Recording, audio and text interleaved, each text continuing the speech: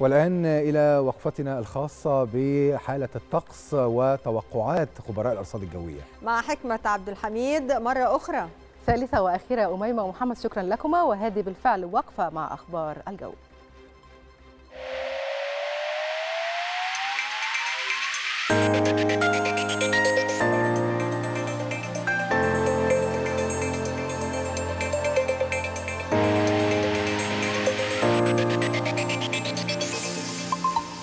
بيتوقع خبراء هيئة الأرصاد الجوية أن يسود غدا الجمعة طقس بارد نهارا على القاهرة الكبرى والوجه البحري والسواحل الشمالية الغربية مائل للبرودة على السواحل الشمالية الشرقية وشمال الصعيد معتدل على جنوب سيناء وجنوب الصعيد أيضا.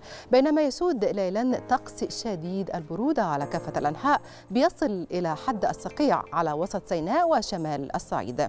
وهذه درجات الحرارة المتوقعة بإذن الله على بعض المدن والمحافظات. بنبدأ بالقاهرة 16 10 الإسكندرية 16 11 بورسعيد 18 11 الإسماعيلية 16 10 السويس 16 10 العريش 18 11 طابة 15 11 شرم الشيخ 20 14 الغردقة 21 13 الأقصر 18 9 أما أسوان فهي درجة الحرارة هناك 20 10 الوادي الجديد 19 6 شلاتين 24 12 حلايب 21 13 الآن بنستعرض مع حضراتكم درجات الحرارة المتوقعة غدا في عدد من العواصم والمدن العربية والعالمية.